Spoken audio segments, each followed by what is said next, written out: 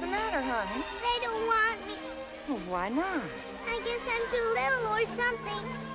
Oh, no, no. Why, that's the most ridiculous thing I've ever heard. Why, Dudley? Come on, Debbie. We'll show them how wrong they are.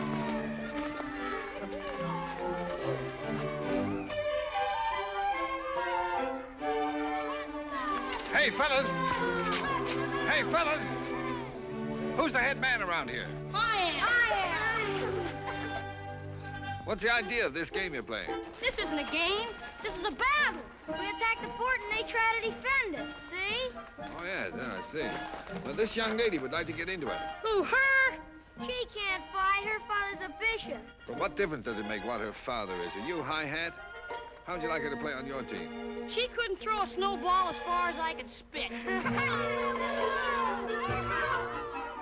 couldn't she? Come on, Debbie. You show them what you can do. But it's true. I can't throw. Nonsense, of course you can. Now, here. You pack it tight, put it in that hand, draw the arm back, aim it right at him, and let it go. Hey! Beautiful! A bullseye. She pitched a curve. Did you see that?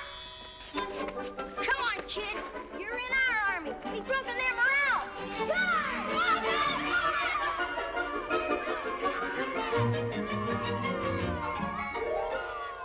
You think she'll get hurt? Probably, but she'll love it. May I? Surely. Ah.